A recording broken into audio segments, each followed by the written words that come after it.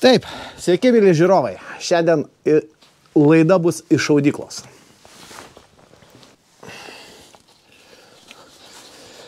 Sveiki, kaip ir minėjau, šiandien iš šaudyklos padariau pramoginį, realiai šaudimą, lengvą tokį prasišovimą. Ir viskas. Kaip sakot, malonu grįžti vėl prie kameros, į eterį. Šiandien apžvelgsim, kas, ką turime fronto linijoje. Aišku, geras naujienos yra tai, kad per dvi savaitės šiandien ka- kasdien po vieną minimum vidurkis gaunas 1,0 su biškiu numuštas bombonešis su 34 arba su 35, plus numuštas dar vienas yra A50. Net prie viso to šiandien kaip tik ir numušta dar yra sunaikinta Kryme sraigtasparniai. Patvirtintų žinių kol kas nėra, bet laukiam. Tai tokios naujienos yra neblogos. Tai, kad oro erdvę vis dėlto kontroliuoja ukrainiečiai. Tai dar kartą įrodo.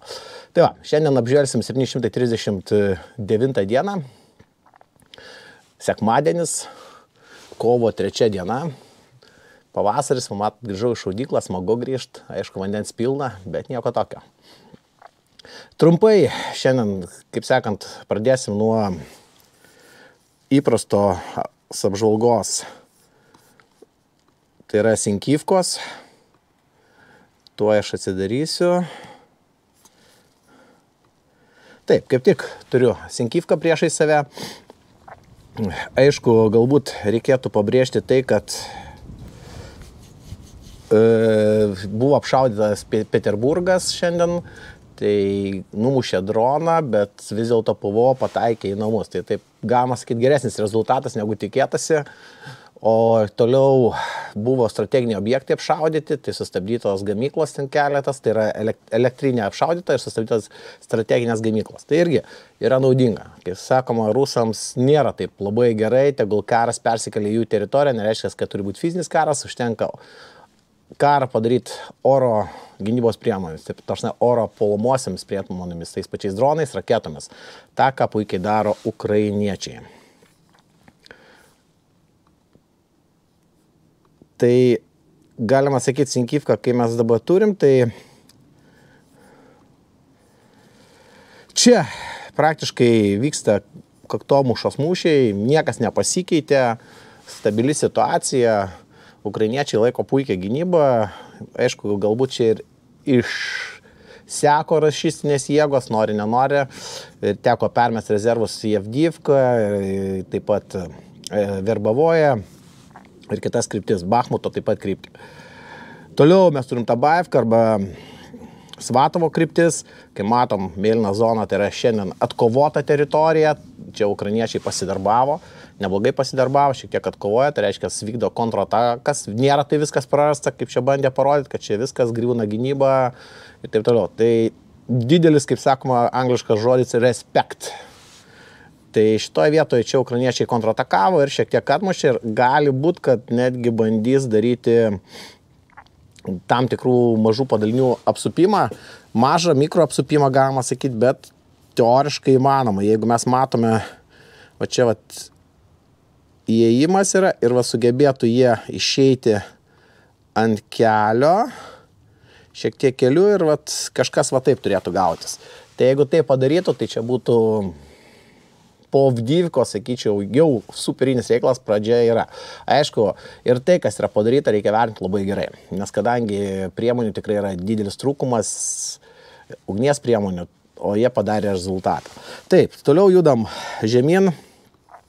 Makyvka išlieka intensyvus atakos objektas, bet čia pažangos taip pat nedaro. Greičiausiai biški apsekusios rašysnės pagos. Dabar kaip pagrindė yra sumesta Bilhorivka iki Terny, galima sakyti. Vat, jeigu taip kalbant, tuoj pataisysim. Nuo Terny, Jampolivka, Torskė, Dibrovoje ir galima va taip eiti. Tai va šita linija yra dabar aktyviausia būtent Kriminos kryptyje. Pagrindinės atakos vyksta Terny Jampolivka. Čia rašystai bando išeiti ant Torskės. Torskės, Jampolivkos, Ivanivkos, va šitoj va vietoj atkovoti pozicijas. Ir aišku, nuo čia sekanti kryptis būtų jau aiški, tai yra Limanas. atsidaro kelias Limaną ir nuo čia juda link Limano. Bet kol kas čia nieko nepasiekta, yra kaip yra, šie sustoja. Toliau labai puikiai vykdo ukrainiečiai gynybą Bilhorovkos. Aišku, ties Iverskų yra įstatyta artilerija, kuri puikiai naikina priešą. Čia iki Bilhorovkos yra apie 15 km 14, vėlgi priklausomai, kur bus nuo 14 iki 16, sakykime. Tai va, įsivaizduokim, kiek aptarnauja artilerijos padalinys va šitas. Atprašom. Visą tą teritoriją aptarnauja artilerija įsiversko įstatyta. Aišku, nieko čia paslėptingo nėra, čia yra osintas, tą patį ir ukrainiečiai deklaruoja, kad čia stovi artilerija, tai kai sakoma, jeigu klausit, kad neišduodu paslapčių, tikrai neišduodam. Bilhorivkoje tikrai yra intensyvios kovos vyksta, bet kol kas jos yra be pakinimo. Aišku, visos kovos vyksta dėl karjero, ten, kur rašystai bando jau pusę metų, kiek atsimenu, prasiverž, bet jiems nepavyksta. Toliau mes turime spirnė, veselė, čia yra labiau ties spirnė, čia kaip, kur buvo prasiveržimas ties rodiklėlė, taip ir liko. Nieko nepasik, nepakito, sakykime, taip šitojim rajone. Dabar intensyviausios kovos, galima sakyti, vyksta tai šiaurės Bahmuto kryptyje, nuo Ivanuskės iki Grigorivkos, šitam ruožė. Pagrindiniai rašystai dabar bando verštis per Ivanuskė link Česif Jar, išeiti per kelią ir eiti link Česif Jar. Čia Česif Jar yra aukštumoje. Iš tikrųjų, nuo Česif Jar gerai puikiai atsiveria vaizdas į Bahmutą ten teko važiuoti kažkada, tikrai vizualiai matai Bahmutą. Tai va, čia kovos vyksta intensyvios. Tai, sakykime, dabar šiek tiek jie pasikeitė, buvo dar trečia kryptis, va čia kažkur bandė rašys tai mauti, kaip sakoma, link Česifiar išliko Ivanovskė ir Berhyvkos kryptis. Tai tokį bando, gal, galbūt, sakyčiau, tokiu būdu vat, judėti link Česifjar. Aišku, dėl to, kad tai yra aukštuma, Česifjar buvo atakuojamas ne vieną dieną aviaciniam bombom, kabais, tai yra e, valdomos aviacinės bombos. Rezultato kol kas čia negaliu pasakyti, kad turi didelį, aišku, vėlgi dar vienas lėktuvas, vakar du tiksliau, du lėktuvai greičiausiai buvo numušti, vienas patvirtintas, dėl antro kol kas neradau informacijos. E, aišku, daug nesidomėjau, bet realiai, kad ir vienas yra gerai. E, reiškia, rašystų proveržys tai yra daromas būtent lėktuvų pagalba. Tai, kas įvyko Avdyvkoje. Grįšim prie Avdyvkos, apie tai biški pakalbėsim. Tai va, kalbant čia šitoje vietoje, mes turim tokią situaciją. Aišku, intensyvėja kovas ties Klišyvka, kai matot, bando rašystai eiti per šitą vietą, kur rodiklėlė, ir per šitą Klišyvką pabandys apsupinėti tai, kas yra pas juos jau padaryta, patikrinta, čia bus nedidelis apsupimas, tai yra žnyplių principą padaryti, kleščiai, kaip sako jie, bet kol kas čia didelio proveržio nėra žiūrėsim, stebim situaciją. Nėra taip paprasta, kaip čia visi bando parodyti, kad čia rašystai yra, turi didelę persvarą ir čia toj maus. Nifiga, kaip matom, kol kas ukrainiečiai puikiai laikos.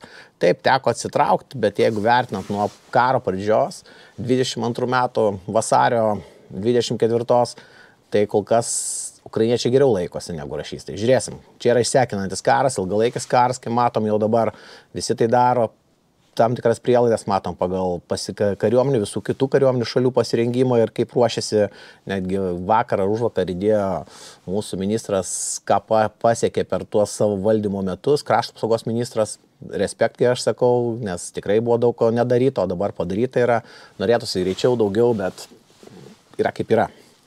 Taip, einam link Avdyvkos, tai čia šiam momentui galima būtų netgi sujungti sakyčiau, ir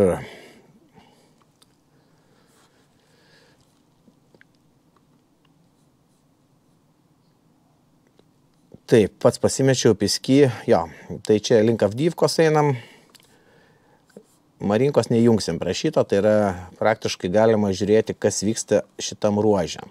Ką mes turime. Vat, pasididinau, opa, per daug, Nevelskė, Čianai mes turime ir turime Stepavoją. Aš galbūt nuo Čianai pradėčiau eiti, va šitą liniją visą apžvelgti. Nevelskė, Pervamaisk, Severnė, Tonečna, Lastična, Orična, Berdičia arba Stepovoja. Ką mes čia turim? Aišku, rašystai bando, nori, nenori, eiti į priekį per Berdičią, kaip matot. Toliau yra Orlyvka, čia nai kol kas pristabdyti rašystai, Toninė. Tai va čia ir yra tikslas iš Orlyvkos išeiti ar ant Mansko ar kažkur čia padaryti šiokį tokį apsupimą, sakyčiau. Būtent vat, kažkas tai va taip atrodytų, jeigu. įsivaizduočiau apsupimą. Čia būtų tikslas turbūt ukrainiečių, rašystų, atsiprašau. E, toliau mes turime Pervamaiską, čia yra gan neblogai, plėštą padarė ir tuo būdu sustoja. Aišku, jų tikslas išeiti ant Karlyvkos, čia yra vandens telkinys, jeigu aš neklystu, jis yra jau nuleistas už šitą užtvanką, pernai metais ją susprogdino. Čia ne viena yra užtvanka vandens, paviršinio vandens telkiniai, čia Donbase dažnai naudojami paviršinio vandens telkiniai miestui aprūpinti, tai va čia vienas iš tų vandens telkinių. Taip pat aktyvios kovos vyksta, kai aš sakau, nuo Piski Nevelskė. Čia daugiau nelabai ką yra pasakyta. Aišku, ties Avdyvka buvo sunaikinta puikioji 15 brigada rašystinė. Čia ne vienas turbūt matėte, kai juos sunaikino KM 7 brigados Hebrytė.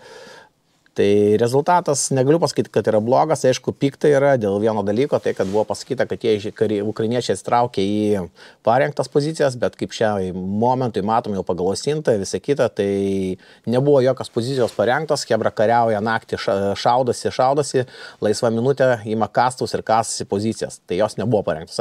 Aišku, galbūt jos buvo kažkur toliau parengtos, ties Karlyvka, toj, bet, nu, tie, kas įtraukinėt greitojo būdu nėra prasmės, tai dabar galima sakyti, turim tokią situaciją, kad mūšio metu netgi ir pozicijos yra įrenginėjamos šitoje vietoje. Yra kaip yra, čia karas, kai aš sakau. Galbūt viskas bus gerai, nereikia pergyventi arba nemištant fazės, kai sakomas.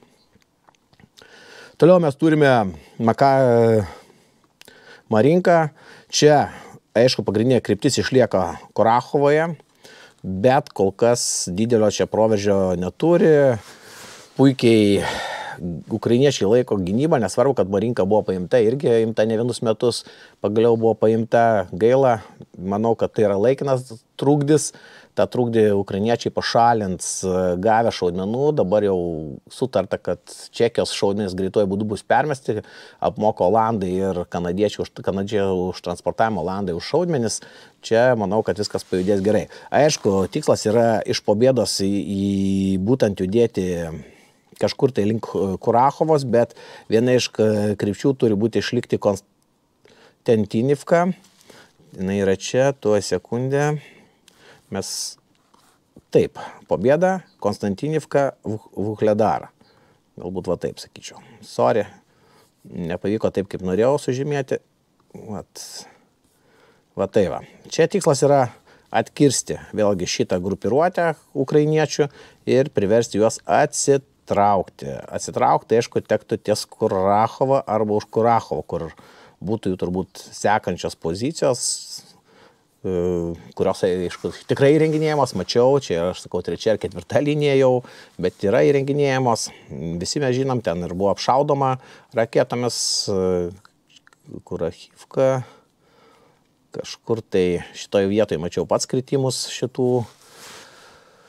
Tiksliau nemačiau kaip krito, bet mačiau pasiekmes Iskanderių, nesuprantu, kodėl nukrito laukuose, greičiausiai suveikė oro gynybos sistema, surep sistema, nukreipė, pakeitė, padarė spufą vadinamą ir raketos nukrito ten, kur, ne ten, kur buvo suplanuotos. Kol kas šia situacija tokia, aišku, jiems tiklas yra Vukledarą atstumti kuo toliau nuo Čenai, nes trukdo Valnavachui daryti savo rašystams puikų mazgą hubą, kaip sakant, bet turim tokią situaciją. Toliau, Staromajorskė, viskas kaip ir ramu, judam tolin, tai yra rabotinė, rabotiniai. Čia buvo sunaikinta rašystų kontrpolimas sustabdytas, e, su BTR-ais buvo iššokę, jeigu neklystų, link prie mokyklos, čia kažkur tai, jeigu plius minus va tai buvo, iki, įkirsta apie, apie 4 km, va šitai šokė, bet ten ukrainiečiai puikiai parodė giminės galimybės, ką jie turi ir neleido jiems iš vis užimti tų pozicijų. Tai aišku, tikslas yra išlyginti šitą pleištą, nes jisai trukdo, stipriai trukdo rašystams, bet kol kas nesiseka. Aišku, kai matom, čia yra biški užimtas teritorijas per keletą mėnesių, pra, prarastos, bet ukrainiečiai puikiai laikosi. Su tom galimybėm, ką jie turi ir tokiam paėgom, kokiam kovoja prieš rašysus, tai dar sakyčiau, labai puikiai jie laikosi. Ir aišku, judam toliau link mūsų pietų, tai čia yra turbūt aktualiausia šią dieną, aš, kai sakau, ten visi didvyriai, kurie gynasi, tai yra krinki. Čia rašystai bando, netgi dar vieną desanto diviziją, jeigu neklystų, įmetė tam, kad išvalytų krinkį. Ten, kiek žinau, apie dvi kuopos laikosi. Aišku, laikosi sunkiai, įsivaizduokit, kad logistika visą daryti, tai yra ne tik logistika, tai sužeistuosius, žuvusius išvežti, taip pat atvežti, pastiprinimą, amuniciją, maistą. Pff reikia per Dnieprą, Dniepras yra ten apie kilometro pločio, tai suzuokit, kokie didvyriai tai visą tai veikinėja. Bet jie rinkinėja, čia laikos, aišku, kalbos buvo, kad krinkiai plečia plasdarmą link Kozačių lagerį, aš kol kas šito nematau. Toliau puikiai dirba ties Oleški, vačinai e, vyrukai, tai yra poima. Lygiai taip pat e, kontratakuoja rašystus, silpna jų pajėgas ir matomai ruošia kažkam plasdarmą. Aišku, gaila didžiausia, turbūt visi girdėjom, kad buvo žuvo ukrainiečių spetsnazas arba SSO specialių operacijų kariai. Pagal visą, ką, teko rasti, tai žuvo apie 20 karių, jų laukia pasala klausimas, tikslas, kodėl jie čia plaukia, ką jie darė. Aišku, kad jie buvo išduoti, tai vienas dalykas aiškus, Hebrytė buvo tikrai sunaikinti katerse, ten vienas ar du papoliai nelaisvę gaila, tikrai vyrų gaila, beprasmė saukos, beprasmis planas tam, kad čia atvykti ir tik dėl to, kad pasifotkint, jeigu tai būtų tiesa, sakyčiau, visiškas idiotizmas, o jeigu tai buvo ruošiamas platsdarmas, tada įvertinčiau čia gan solidžiai, sakyčiau taip. Aišku, būtų įdomu čia paskraidyti, manau, kad lietuvaičių dronas gal ir leis čia, lietuvaičiai sutiks savo droną paskolinti gamintojai vieni, kad čia praskristi, nes šiai dienai mes galim tai padaryti, jau testuota. Pažiūrėsim, čia bus įdomu, aišku. Tai va tiek, šiai dienai mes turim tokią situaciją fronte, nepamirškit remt, keliais būdais galite prenumeruodami kanalą, galite pirdami kontribį ten pramogą, tą, ką dabar aš darau šaudyklai, tai čia yra viena tik tai pistoletas, bet ten siūlom penkiais ginklais arba supažinimo programą, už 60 eurų supažindinimo su pabandymu, o 140 eurų gautųsi gan platesnio pobūdžio programa, supažinimas, šiek tiek counter, kaip sakau, counter strike principų pašaudimas, su judės ir taip toliau. Tai va, dėkui Jums ir iki sekančio.